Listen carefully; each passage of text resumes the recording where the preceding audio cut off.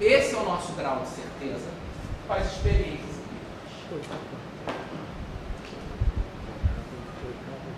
Qualquer número do infinito igual a zero.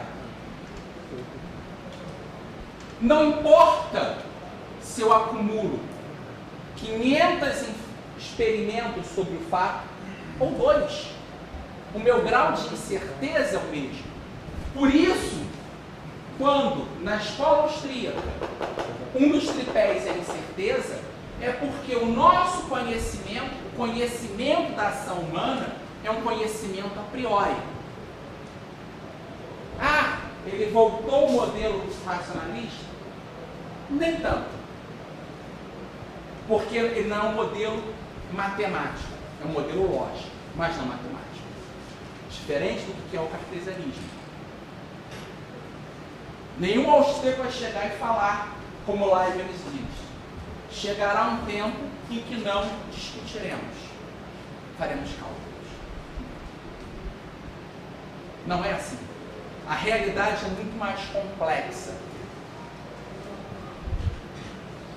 Então a questão epistemológica, o Hume traz um grau de incerteza.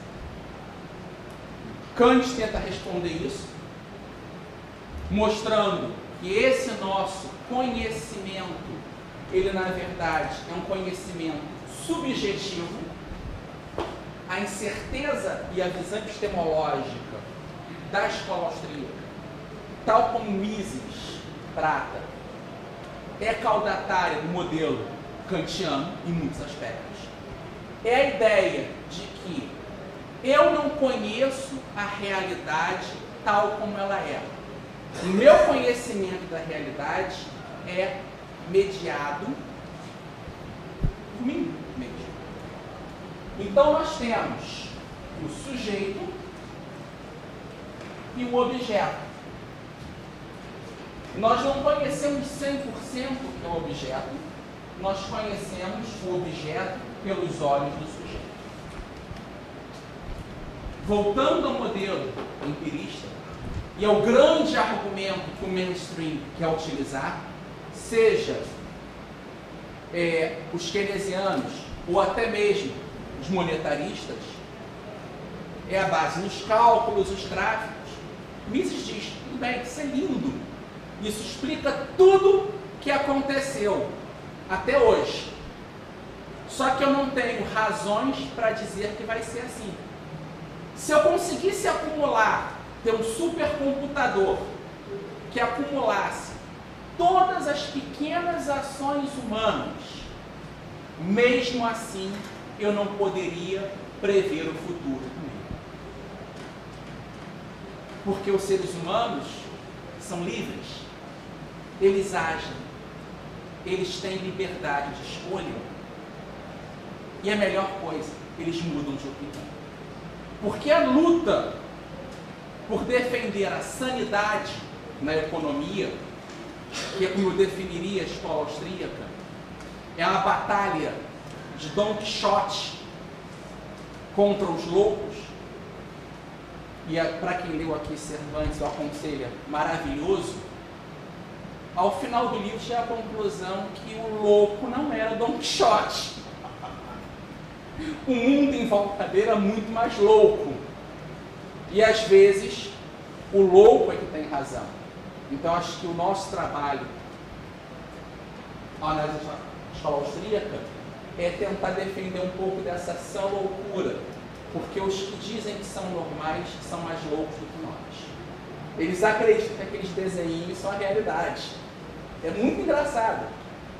Você pega um físico, por exemplo. Ele sabe que os modelos de racionalidade que ele constrói são modelos. Eu estou no laboratório, vou analisar o átomo, molécula, ele é um modelo. No mundo real existem inúmeras variáveis que eu não sou capaz de reproduzir num teste em laboratório. Então o modelo explica e até que a teoria seja refutada, se mantém. É um salto de fé. Não, eu acredito nisso porque enquanto ninguém me mostrar algo melhor, em termos lógicos, e a teoria da ação humana é lógica, ela não é pautada em fatos pequenos. Ela é uma construção lógica. Enquanto eu vou sustentar. Só que o keynesiano faz aqueles brinquedos, faz lá os desenhos, e ele acha que o mundo é aquilo. Quem é louco? Eu que digo, isso é desenho. Ou ele que diz, não, isto é o mundo, e se eu mudar essa variável, eu subir aquilo. Não vai. A realidade é mais complexa. Eu posso ser louco, não, vou entesourar dinheiro. Existem pessoas fazendo isso. Compro ouro. É a coisa que mais acontece. Vocês abrem uma revista como a National Review dos Estados Unidos, está todo mundo vendendo e as pessoas estão começando. Grupos até mais ortodoxos, conservadores, em termos econômicos, falar, eu não confio nesse sistema bancário. Eu vou começar a transformar a minha riqueza em ouro ou em terras.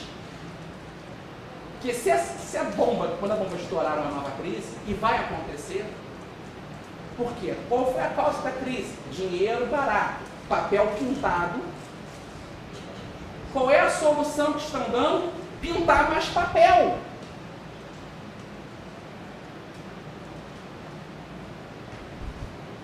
Só de incerteza nosso, epistemológico, deve nos levar, e aí uma coisa interessante, e até foi um debate uh, no Montpellier entre o Mises e o Popper, e brigaram um pouco por isso, mas que depois o Mises, até nesse último livro dele, reformula um pouco, melhor que no Ação Humana, dizer o seguinte, a nossa teoria pode estar errada também, mas até que não nos mostre uma teoria melhor, a melhor que existe na nossa. Então, a visão epistemológica da escola austríaca, com a questão da incerteza, também deve ser um salto de humildade. Até que se prove o contrário, estamos defendendo as melhores teorias. Até porque reconhecemos que nossa teo nossas teorias têm falhas. Porque são teorias humanas. O homem não é onisciente. Isso é muito importante. Se nós acreditarmos que somos, aí viramos marxistas, keynesianos, monetaristas e coisas do tipo.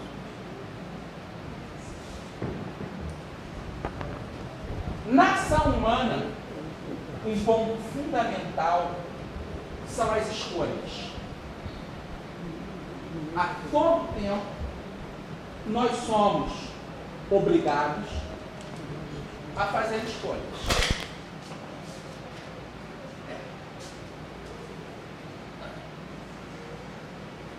Algumas voluntárias, outras não. Teria que andar com mais cuidado para não derrubar a caixinha do som. Uma escolha. Essas escolhas, elas se dão com base em todo um sistema de crenças. É a questão axiológica da ação humana. Se nós chegarmos para um rabino ortodoxo falar, meu amigo, desconto para você, rodízio de lombinho de porco, ele, pelas crenças dele, vai dizer: não, obrigado. Pode ser o melhor negócio do mundo. Mas a ação humana, ela é neutra em relação aos valores. Ela não vai dizer o que é certo ou errado, o que é belo, o que é feio.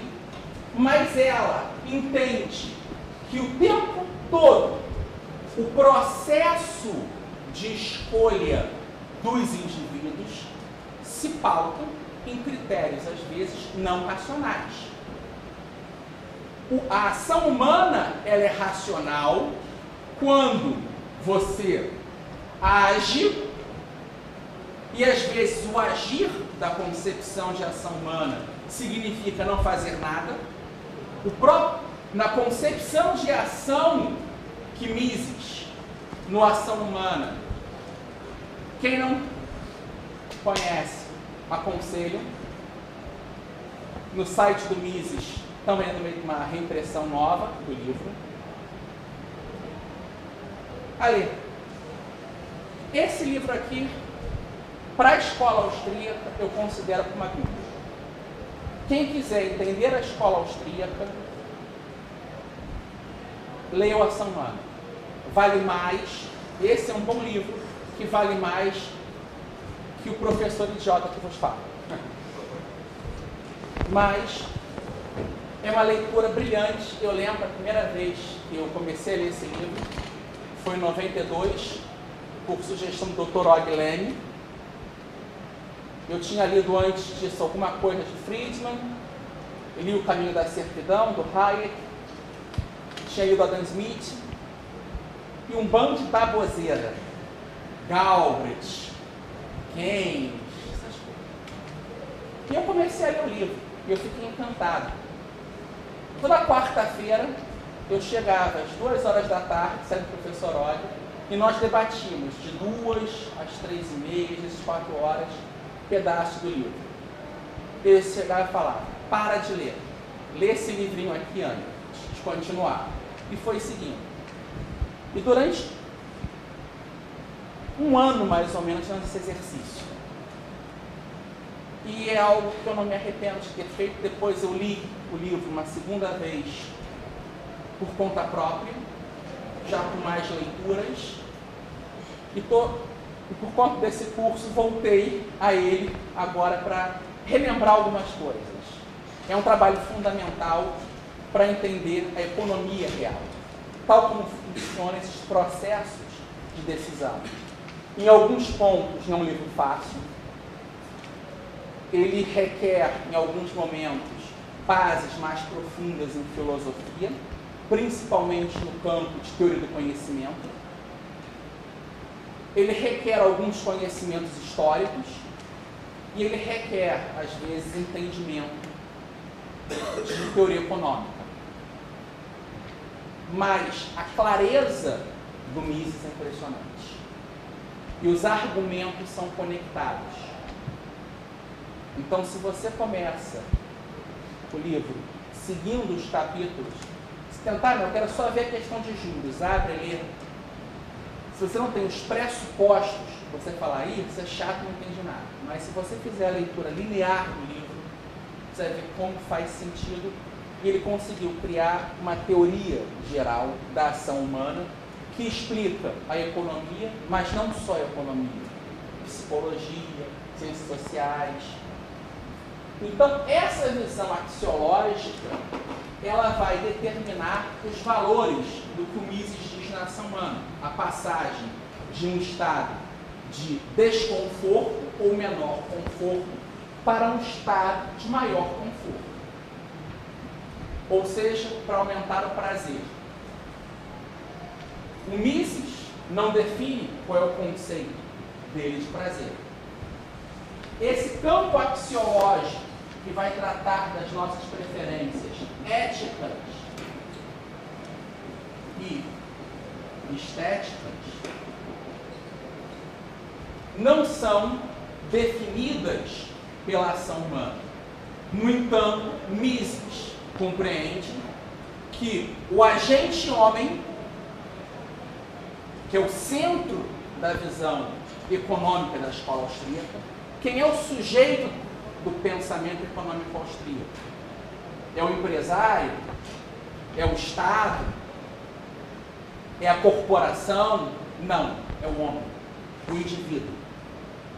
Quem age na economia do mundo real são pessoas.